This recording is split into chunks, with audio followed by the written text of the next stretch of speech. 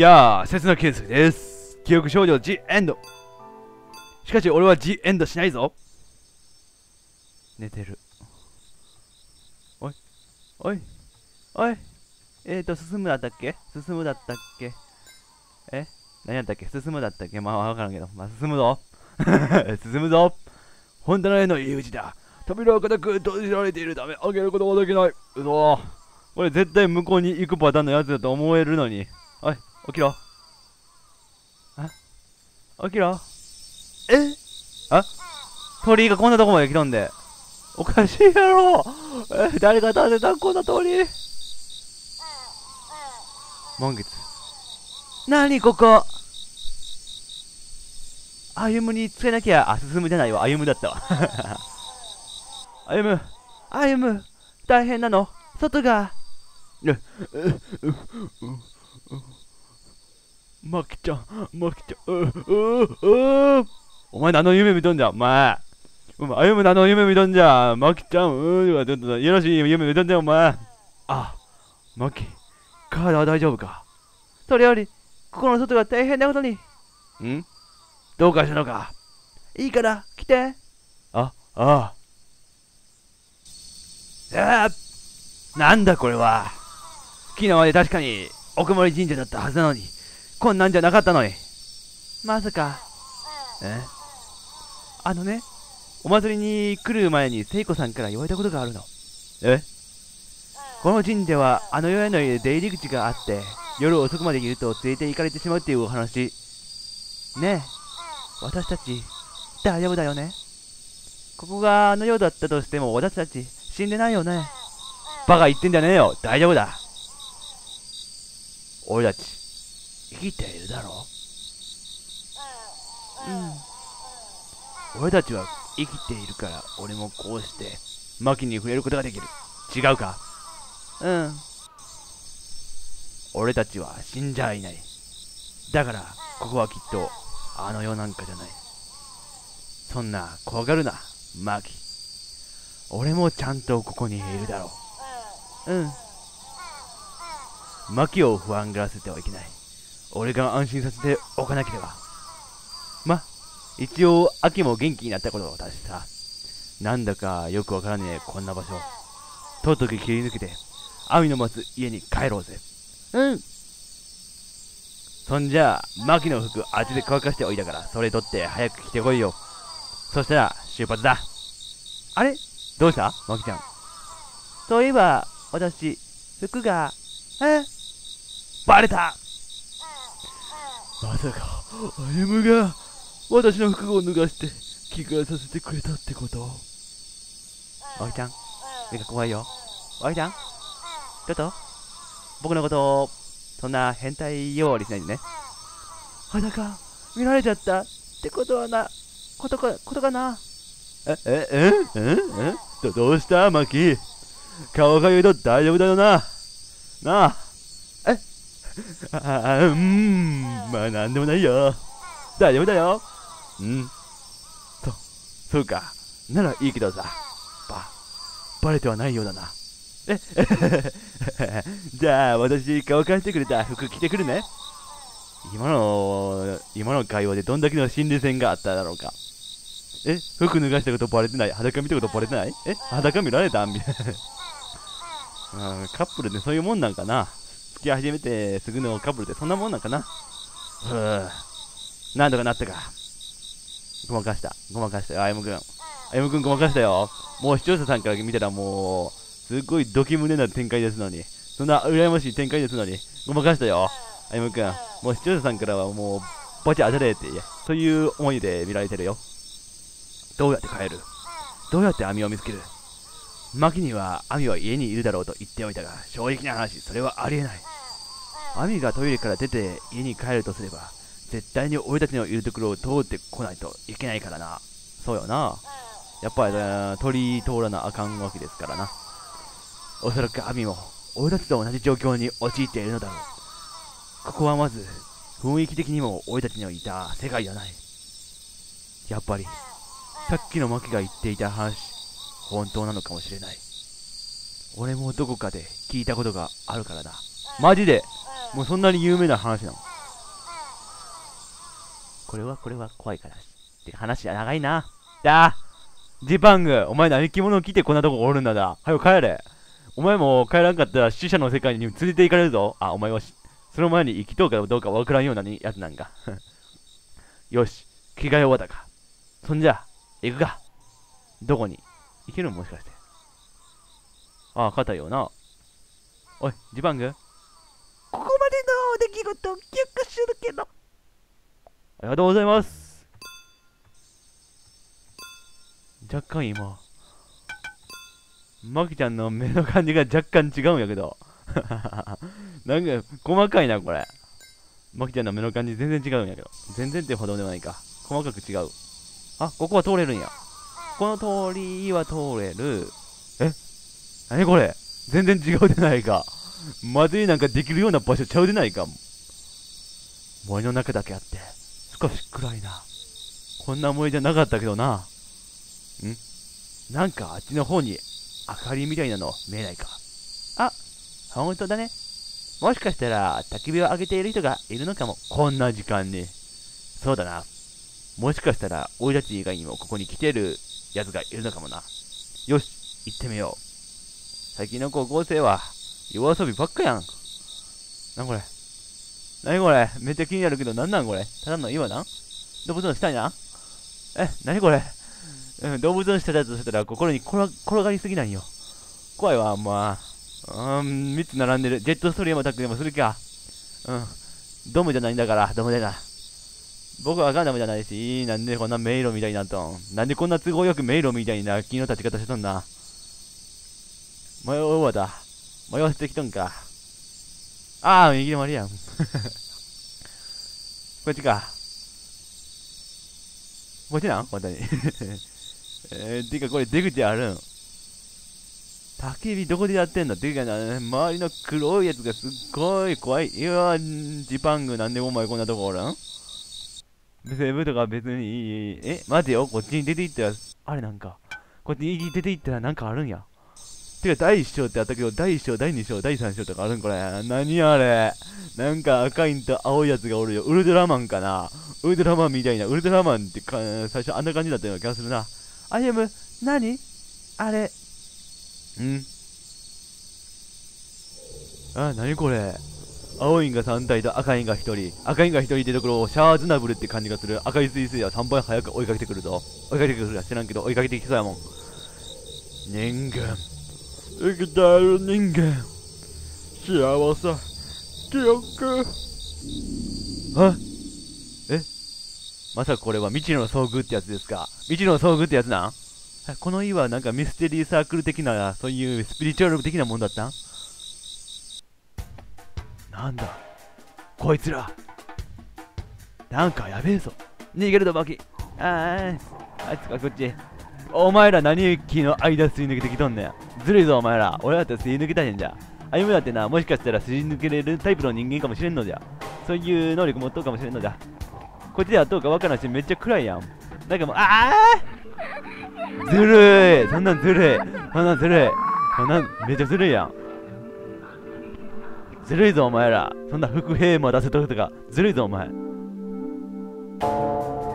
そいきなりもう難所にかかったような気がします。これ逃げれるのかな。なんか最近こういう逃げる系のゲームやってないなって思ったらもうあこっちか？こっちなんか？あ絶対違う。絶対違う。ブーヘイ。あいける。いけた。なんかいけた。うんどっちやねどっちやね どっちやねここは絶対、こっち側行かなあかんので、えっと、さっきこれ上行ったけ？んあかんかったやな。ほら、お前、えー、早いやろ、お前ら。早いやろ、お前ら。そんなずるいぞ、お前。泣くな。やべやべちょっとつまだ、ちょっとつまだ。ちょっとつまるだけでこのゲーム大丈夫なんかって、そういう感覚です。あ、いけた、いけた。え。あ、あ、い、もういい、もういい。いけるん？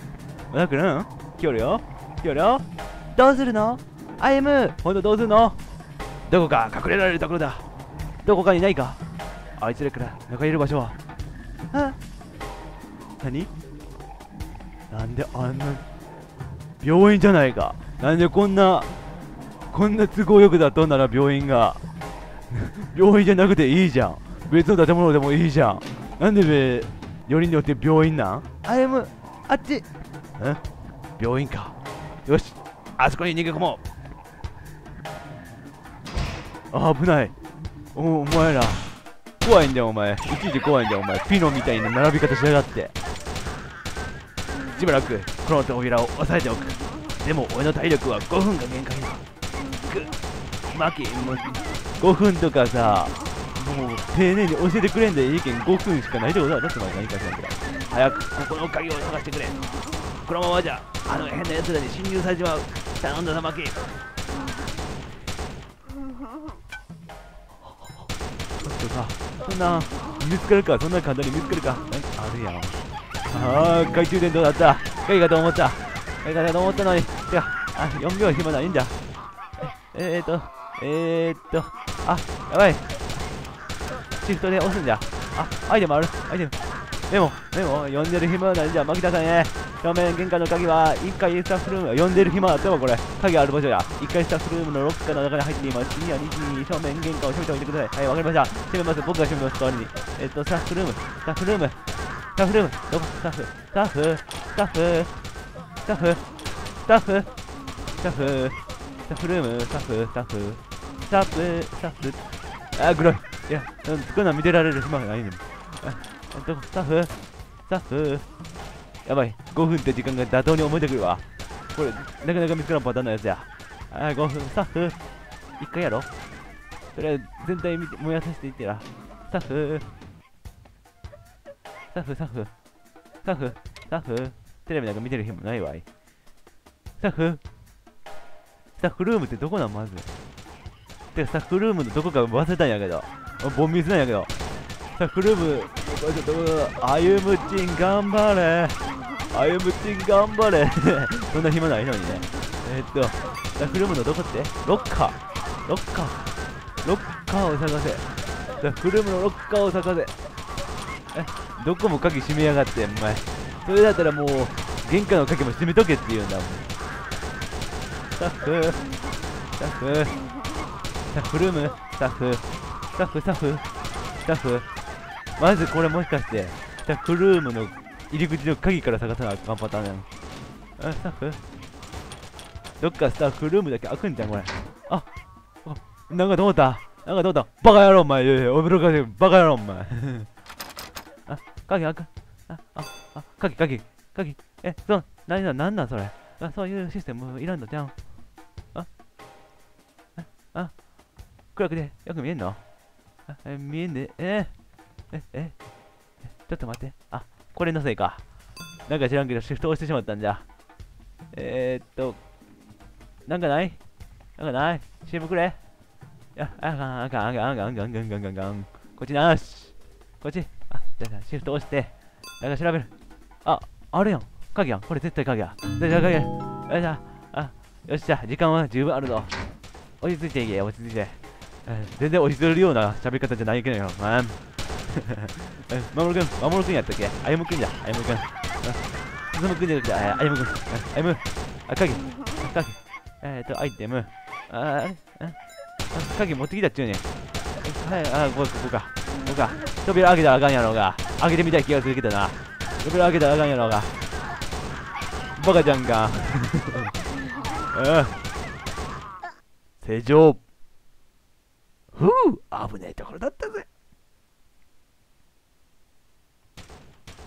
マキ、怪我はないか。うん。私は平気だけど。歩夢は大丈夫？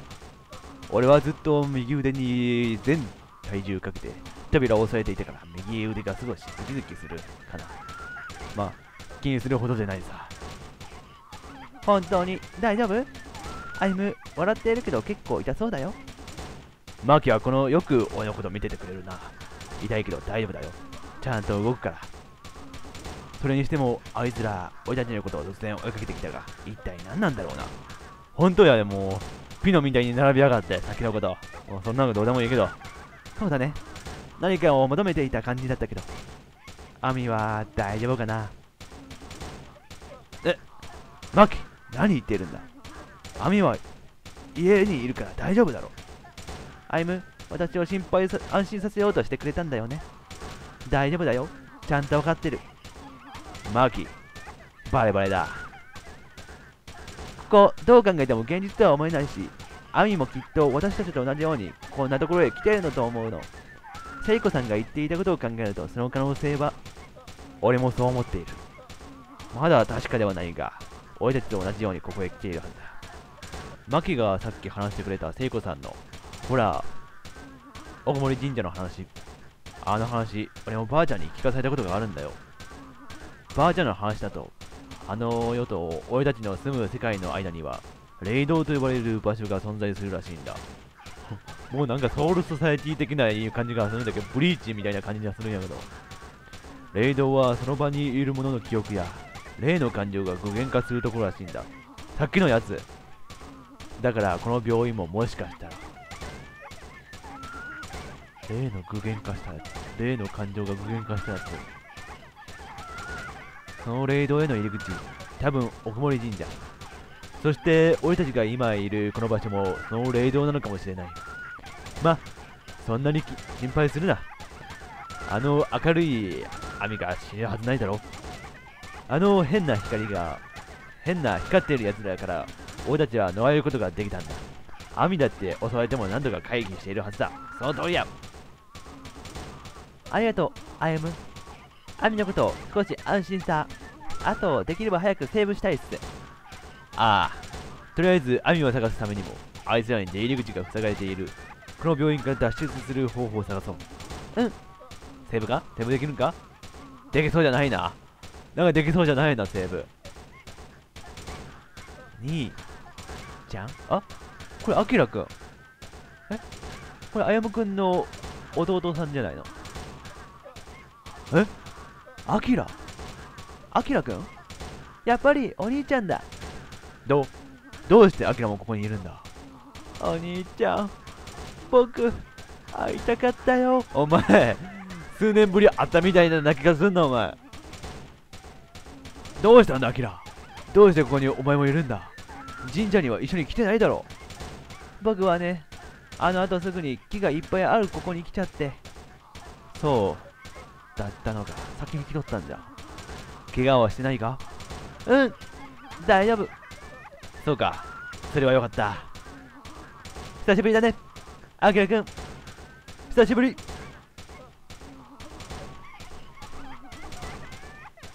じゃあ行こう違うよ。ジャイコじゃないよ。君私のどこがジャイコに見えるの。ドラえもんなんかで出てきてないよ。マキお姉ちゃん。あそうそうそうそうそう。あ第一章終わり？神隠し終了。あやった。ようやくセーブできるぜ。じゃあ今回はこの辺でようやくセーブできるんでねここで終わり歌をさせていただきます。次回から第2章どんな展開になっていくのでしょうか。そして記憶少女とは何なのか。今回の作品の記憶少女とは何なのか。あと、マキちゃん。ここのこのセーブのマキちゃんがすごいきちったような目になってるよ。大丈夫かな。というわけで今回はこの辺で、週上げ。